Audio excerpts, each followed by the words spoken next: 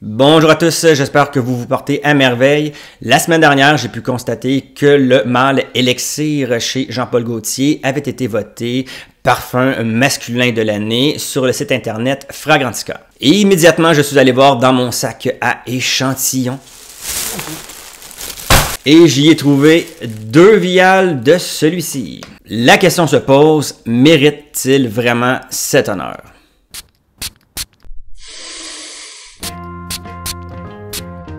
Jean-Paul Gaultier Le Mâle Elixir, une création du talentueux Quentin Biche, une sortie de 2023, une note de 4.58 sur 5 sur Fragrantica, épatant. Pour ce qui est du prix, attendez-vous à payer plus ou moins 160 dollars canadiens pour 125 ml. Ça va certainement descendre éventuellement. La famille olfactive, c'est un ambré avec facette fougère, selon Fragrantica, et selon moi, c'est un ambré épicé. Comme la plupart des nouveaux parfums de type élixir, le mâle est assez chaud et est tout désigné pour être revêti durant la saison froide. Petite parenthèse, pour ce qui est de l'appellation élixir que l'industrie pousse énormément dernièrement quand même, ce n'est pas une euh, concentration de Est-ce que le mâle élixir est un extrait de parfum, une eau de parfum, une eau de toilette? Je le sais pas.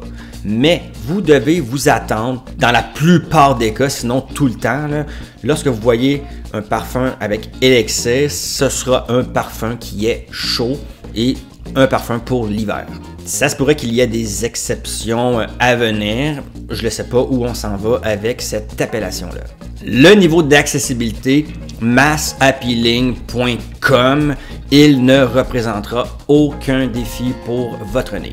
En quel contexte qu'on peut le revêtir, il est hautement euh, versatile. Vous pouvez autant en faire un délit, un parfum signature, qu'un parfum pour les grandes occasions. Cette versatilité, c'est son point fort principal. Les performances, je me suis atomisé du 3 euh, quarts du vial pour lui donner une réelle chance. De toute façon, je suis un heavy sprayer et je m'assume. Les performances que j'ai obtenues ne concordent pas vraiment avec ce qu'on peut voir sur Fragrantica.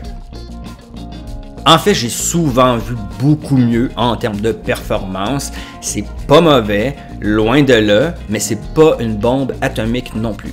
Longue tenue, on peut presque le dire, un 8 heures avant que je trouvais que ce soit trop intime et qu'il était temps d'en réappliquer. Sillage puissant, ça non, absolument pas. Convaincant, ça oui. Il est puissant pour les trois premières heures pour après se stabiliser à un modéré pour la majeure partie du temps de sa vie. Ce sont de bonnes performances dans l'ensemble, mais vous voyez, ce n'est pas explosif non plus. Pour ce type d'odeur-là, ça mériterait à être plus euh, intense. C'est un élixir après tout, hein? Le mâle élixir est la millième sortie de la ligne Le mâle chez Jean-Paul Gaultier. Je blague, mais presque pas, parce que au rythme où vont les choses, je suis convaincu qu'on va y arriver un jour. Plus sérieusement, dans les faits, c'est la 55e sortie depuis l'original en 1995 créée par Francis Curgian. La ligne Le Mâle est une belle vache à lait où l'expression étirer la sauce prend tout son sens. C'est le royaume de la bouteille édition spéciale. Bien souvent, on sort de nouveaux contenants avec le même contenu à l'intérieur. Heureusement, on est encore capable de nous surprendre chez Jean-Paul Gaultier. Par exemple, le mâle Le Parfum sorti en 2020 qui est merveilleux et se trouve sur ma liste d'achat. Allons voir tout de suite la pyramide olfactive. Ensuite, je vous décris ce que ça sent, l'odeur et je finirai par mon opinion à son sujet. Le profil en tête lavande et menthe au cœur vanille et banjoin, et sur le fond, fève de tonka et une petite touche mielleuse. L'ouverture est assez originale si on se place dans la perspective suivante. Comme je l'ai évoqué, le mâle élixir est un parfum chaud dont la tête est composée d'éléments de fraîcheur. En vérité, cette dernière contient de peine et de misère la suite des choses, ce qui va suivre. Une lavande aromatique, florale, savonneuse, presque piquante et surtout euh, la menthe fraîche, légèrement poivrée. Comme je le disais, c'est original, mais au-delà de ça, c'est caractériel.